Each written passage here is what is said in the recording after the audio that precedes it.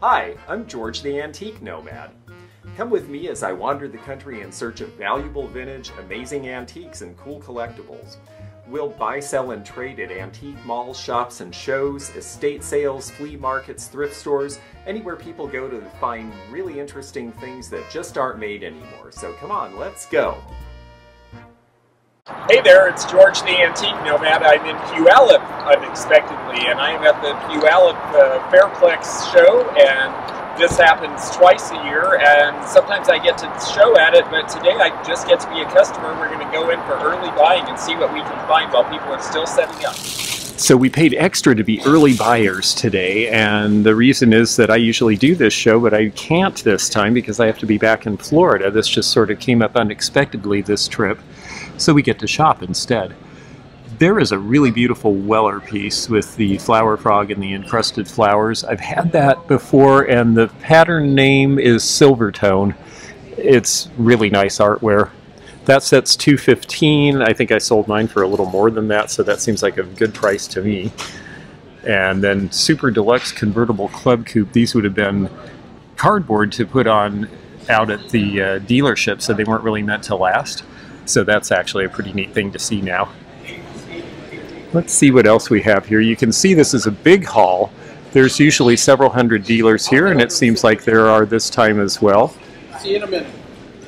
Civil War era cookware. Well, they've cleaned up and seasoned a lot of this, but you can tell these are older pieces. Look at the way the number 11 is cast on this. It's a little rougher. The general finish is a little rougher foundry methods were not as good in the 1800s as they were later, and so you will see a little bit more of a crudeness to the cast iron from that era. This guy has an entire wall, in fact, an entire booth full of old posters and displays for various really crazy things from advertising to Dracula and the House of Crazies. That looks like fun. The alligator the alligator will make your skin crawl. Love that graphic. Here's a fun booth that's a little more bohemian chic with a lot of uh, vintage fashion, umbrellas, fun art. This is a way of display that's very popular with some folks where you really layer it in and it just makes everything really rich and deep and varied like a museum, except you get to have it at home. I like the phone. I always like phones. I think I'll get this phone. This dealer has a whole lot of blue transferware, including Flow Blue, and someone asked me recently in one of my other videos what the difference was, so let me try to show you here. So transferware is where you use a transfer decal and you put it under the glaze and that makes the pattern. It was invented in the late 1700s so that they wouldn't have to pay people to paint El China by hand. However, when they first started doing it, sometimes the decals didn't really set well and when you put the glaze on and fired it, it would actually run a bit. See how the detail in this, the blue has flowed into the white? That's why it's called flow blue. Now, the English were the ones who made most of these ceramics back in the late 1700s and early 1800s, and they considered the flow blue to be a factory second. So what they did is they put all of those in barrels and sent them to the United States of America, actually the colonies at the time, and then later the USA, and they sold all of the flow blue pieces to us because they considered them to be inferior, but Americans ended up having a real taste for it. So here's a good example. Here's one where it isn't flowing. These pieces here are all flow because again the blue has bled into the white. Here's a really good example. This one is a particular pattern from the early 1800s in England. You can see it has a very high price. Now in England, they are not interested in these pieces to this day. They still consider them inferior. We, on the other hand, find them very collectible. So this is our friend Andrea's space, and Andrea loves Art Deco and she loves Bakelite, and boy, can you not see why. I mean, these are just beautiful pieces. There's really deep carved bangles. She's got the multicolored striped ones. She's got a really incredible display, and the thing is, she's very, very serious about only selling old pieces, so everything in here is genuinely vintage. And she's got uh, carved horse heads and crabs and the hand holding the cherries and a lot of real classic ones that you see in all the old books about Bakelite. So very collectible and just one of the best displays you'll see on the West Coast. I wanted to show you a table of this glass. These are pieces by Charles Lotton, L-O-T-T-O-N, and his son David and his other son are also involved. They make beautiful pieces Charles is in his 80s and doesn't produce a lot anymore, so his pieces are in the realm of vintage collectible now. But it's just amazing work. It's cased glass where they have these layers of design and then the flora and fauna inside just seem to be suspended in space. And they are becoming quite collectible, and there's an entire book about it that you can read called Lotton Art Glass that will explain all about their technique. Here's a space for you nothing but antique prints, all sorts of really great things. This one's a yard long. This is Paul de Longpre, and we see a lot of floral from about 1900. From him, this one's The Study of Roses. The chromolithography was done in New York. Here's one that is from Frank Leslie's, a Louis Wain piece. Louis Wain was known for his cat illustration and these are Pussy enjoyed the first blizzard of the year, and it looks like they're having, well, sort of fun. They actually look like cats might react to snow, not entirely delighted. There's advertising with the lovely woman on the horse. You've got skiers. This one advertises the calendar company. Here's a fun one. This is Dr. A.C. Daniels' famous dog remedies, and it has the various Coolidge pieces for the dogs playing poker. You have this one where they're playing, you have this one where the one is trying to pass the card to the other one under the table. See that? Naughty dog.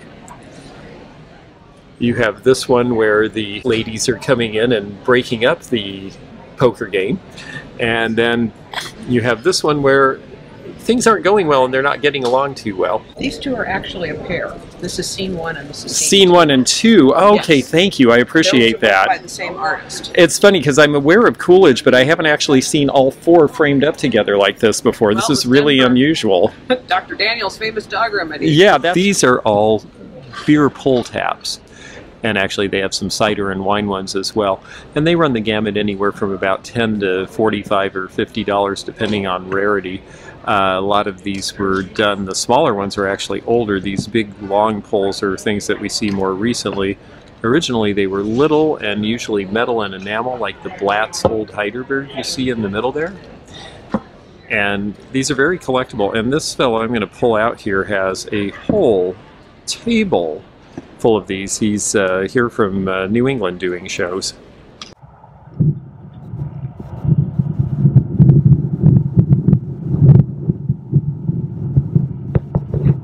So if you'd like to see more categories of antique and vintage from the Puyallup Antique Expo, join me on Periscope.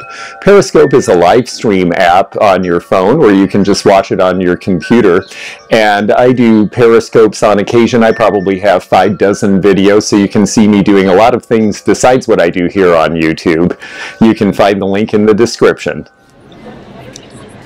Well, wow, this is a very busy show, and so we're going to show you what we can. We got to try to stay out of people's ways, but we definitely want to show you some cool stuff. The 49 Dodge pickup sign is kind of a neat thing. And here's some signs off of old American locomotive and other uh, railroad equipment companies. These are really popular with railroad collectors now got the old Matchbox super fast. If you can find the early Matchbox stuff, it really does sell for a lot these days. Boy, this dealer has got the toys. Look at this. I mean, these are all real and these are all old. You've got the motorcycle. That's a hard piece to find from the 1930s. Looks like he's about to crash down on a 1920s Franklin and a Chrysler Airflow. The Chrysler Airflow actually has lights, real lights that light up. So this must have been a friction drive that made the lights go. That's an unusual piece for certain. There's an old 1920 Chevy on the left. He's just got an ocean of these. It's amazing to see so many in one place. Very few people, collectors even, have this level of collection, let alone dealers. Really unusual piece here. This one's for advertising the Indianapolis Motor Speedway. That's what race cars looked like really up until about 1960. Here are a whole lot of mechanical banks. Really good mechanical banks. You put the coin in the guy's hand and he swallows it. You put the coin in the owl's head and the head turns. You put the coin on the gun that the Indian is shooting at the bear and it shoots it into the bear's stomach and that's where the coins go. Uncle Sam drops one into his carpet bag very desirable, very hard to find originals. There's a lot of reproductions that are not well made. These are all original from the 1890s, and prices are going to be anywhere from about 250 to $1,000 depending on. They've had a good antique district here in Puyallup for many years, even before the show started. Part of the reason the show came here is because they had a good group of antique dealers here.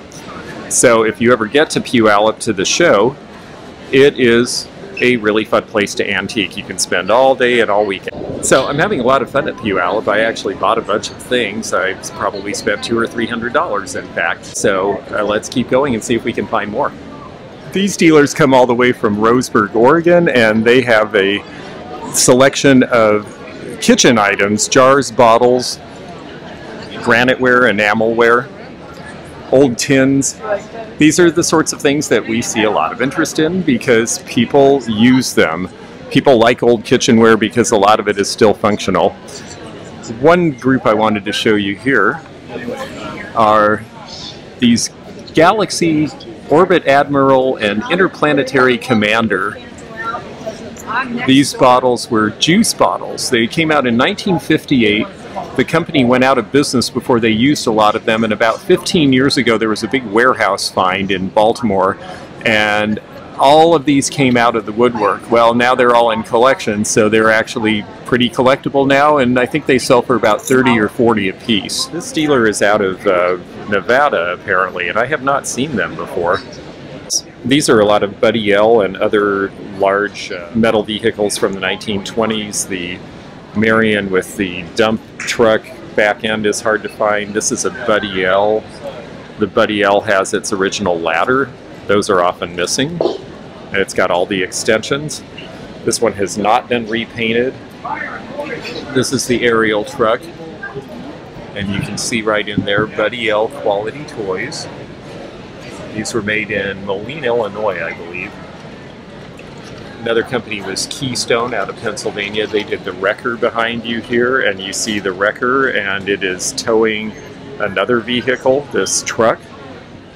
Very hard to find the pieces that had lots of little parts like the wreckers and things. And these were big. These were not inexpensive toys when they were new. So you see a bunch here and you think, wow, every kid must have had one of these. And exactly the opposite. Not very many kids had these. And so the fact that these have lasted this long when the supply wasn't that big to begin with is pretty amazing. I like this one. It's the Keystone Paddy Wagon. You can think about the Keystone Cops, and there they are with the police patrol. Let's get down where you can see the weave. So there you go. There's your traveling jail. Ah yes, modesty. Something we all could use a bit more of these days, I'm certain. This banner is made of silk. It's going to date from about 19... One of my favorite things about the Puyallup show particularly is that people seem to dress in period... Hello! You look so cute. What what period is that dress? Um, it is the Civil War. It's during that time period. Wanted to show you a little more Bakelite I showed you Andrea's and her friend Janet Upjohn also does a lot of vintage costume jewelry and she brought a nice selection of Bakelite as well. Look at that funny horse with the big grin. And in the middle there you've got that ring on the clear stand. Carved pieces are more desirable than not carved, generally speaking, and black is a very hard color to find. And then down here you're going to see various pins, the lobster carved piece is an unusual one as well. This is an opportunity to talk about patches. We do see a lot of old patches. Now, typically what we see are these bins. So here's a whole bin of military insignia and related things. Some can be valuable. There are some that are old. There are some that have gone out of existence. These particular ones are more common, but they're fun to root through. Now here's an example of a more desirable and scarcer military patch. This one is from the 429th Bomb Group. This logo was only used during the Second World War. These are the ones that are going to be more expensive. Here's one B Division with a strangely stylized sort of Donald Duck you got from the nuclear submarine USS Dace. Here you've got the yellow jackets. This one here is interesting. It's for Aleutian Island Service 1945. These are the types that are going to be more difficult to find and more expensive. It, I think because of the wars, it then became very popular to wear uniforms, and uniforms had to have patches. Yeah. So in the 50s, especially in 60s, you see a lot of patches made. Now the back of this one is a good indication. See how it's not shiny? That means it's before about the 1950s. They started to do a plastic backing on them, and they're pretty obvious at that point. So these are older ones, which is nice. These are what people collect. The Oldsmobile, of course, anything that's for a vehicle or something that's no longer made is good. National Car Rental is something that's kind of fun. People will uh, collect these. Sometimes they'll even sew them up and use them on things like, uh, oh, Halloween costumes and things. But a lot of times it's people collecting them because they're interested in a particular type of thing. So if you're into motorcycles, like this green Kawasaki is going to be a 1970s color. BSA motorcycles, this is great, and you can see this on a motorcycle jacket. If you're a Norton rider or a Ducati rider, they pretty much have you covered here. And again, you're going to see that the backs on these, these are older pieces. These are not brand new. This is a really cool store display, and I had a chance to get one last year and passed on it, and I wonder if this might be the one, but it's a really nice one. Uh, it's Humphreys, it's from England, and it's all these various uh, treatments for all sorts of things right about the time of pure food and drug laws, and you've got like uh, you have or whooping cough or this or that or the other, and anything between 25 cents and a dollar will cure you of all these amazing things. Uh, you don't see a lot of these displays because, of course, when the Pure Food and Drug Act came, then things got a lot more regulated and a lot of these went by the by. And they're asking 500 for it. I looked up the one that I was interested in buying and I think that the similar one is sold for six. So this is really not a bad price for this at all. So you would pay your quarter or your dollar and then you would open it up and your magic potion would be in one of these drawers. So it's a great old apothecary piece out of a uh, pharmacy or drugstore or general store from about 1900.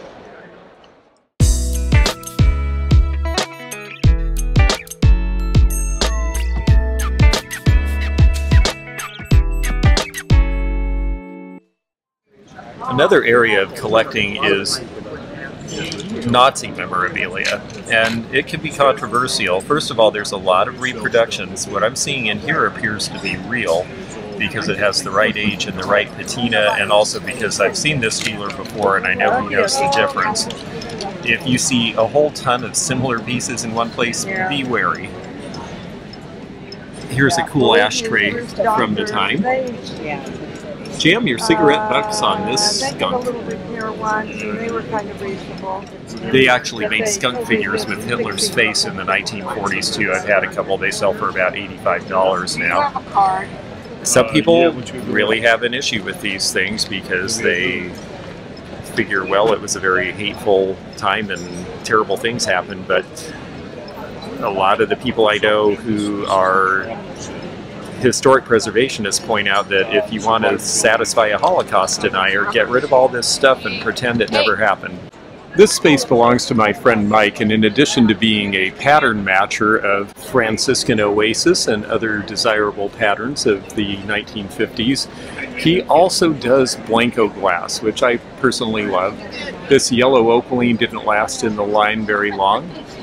He's got a bunch of the different fan bases, but he's just got a whole frieze of beautiful Blenko pieces. A lot of these are 1980s and 90s. Uh, Hank Adams designs and Matthew Carter designs, they were the last two of the main designers to work for Blenko, and they're becoming pretty collectible, so we're seeing a lot of interest in this era now as well. Oh, how neat! These little shoes have Buster Brown in them. I knew Buster Brown did shoes. Thank you for holding that open. That is really neat.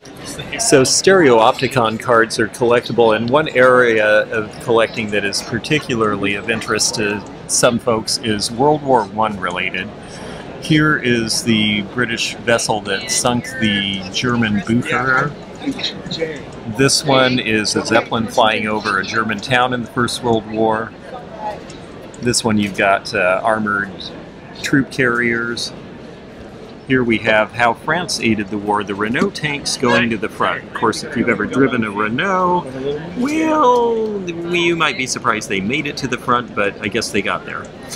Here's uh, folks manning a cannon, and then here's a biplane from one of the World War I flying aces particular areas of stereo card collecting are more desirable than others, and this is definitely one of those areas. A typical stereo card might only cost three or four dollars. These can be 10, 15, and 20, and some can be more if they show particular battles of which there are not good records.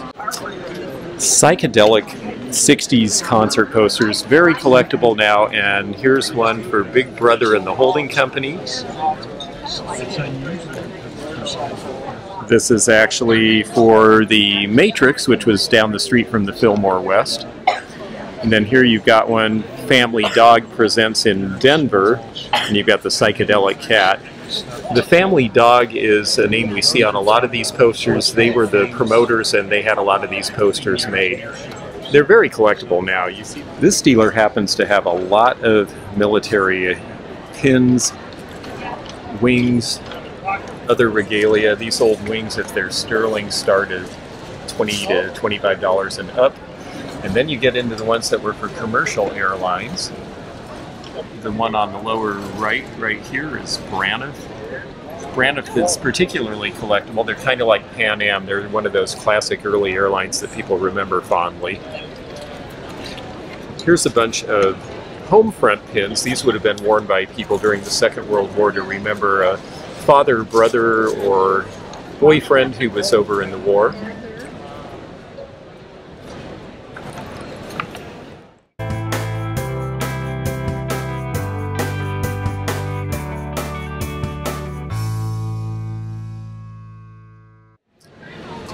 My friend B and her husband have this space and they have a few cute things I wanted to show you.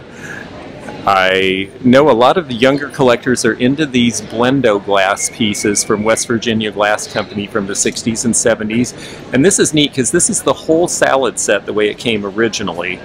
It's got the oil and vinegar cruet, you've got the shaker set, and then you also have the uh, bowl.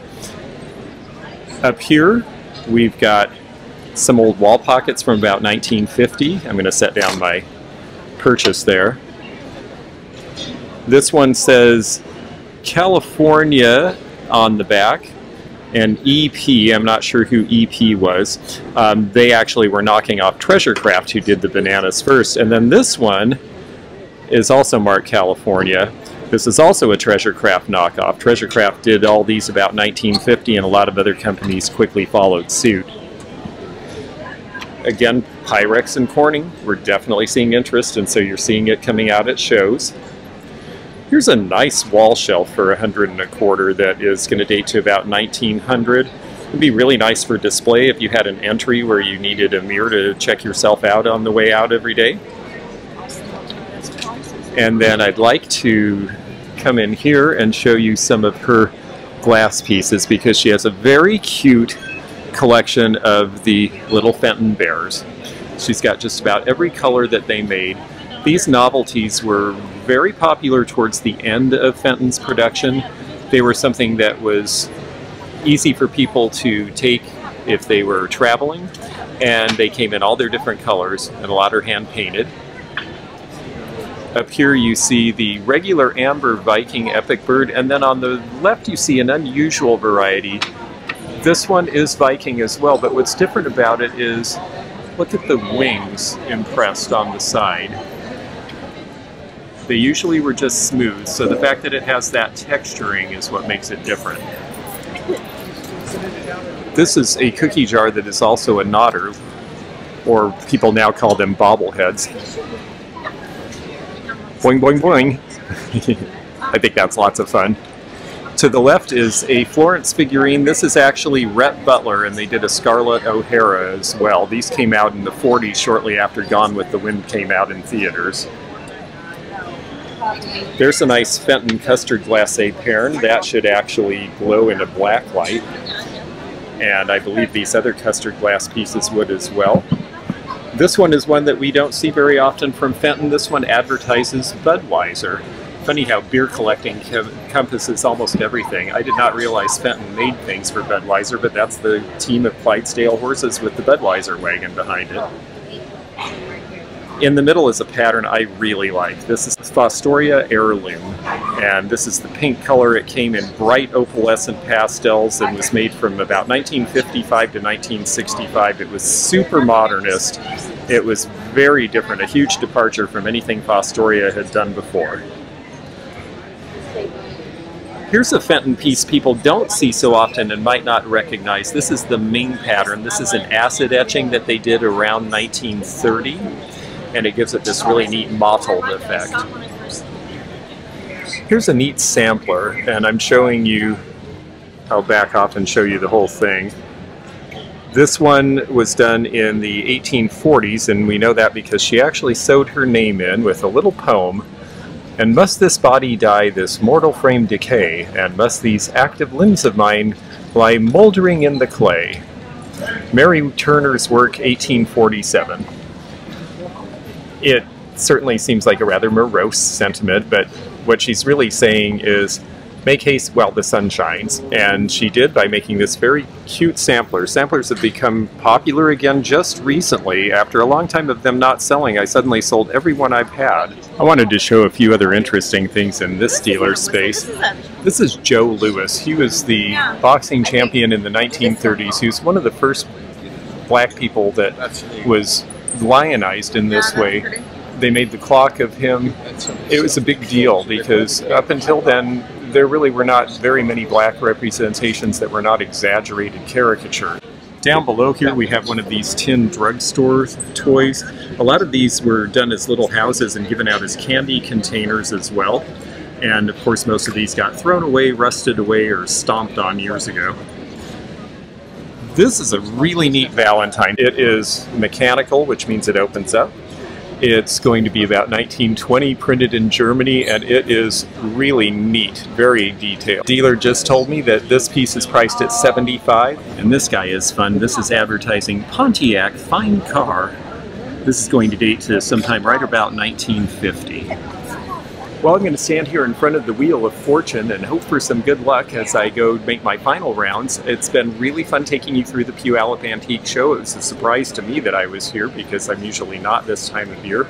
And next time I'm here, hopefully I'll be selling here and I'll show you how that end of the business goes. But it's been really fun to look around. Thanks for joining us. Uh, thanks for liking and subscribing and all that good stuff. We really appreciate it. It all helps. And we'll see you again next time. I'm George at the Antique Nomad. Thanks for joining me again in the fun and fascinating antique community here where online meets the real world. Please click the subscribe button below, click the bell to be notified when new videos upload, leave a comment below, and hit thumbs up to like this video. Links to our online social media daily posts and our items for sale are in the description. This is George at the Antique Nomad. Bye for now.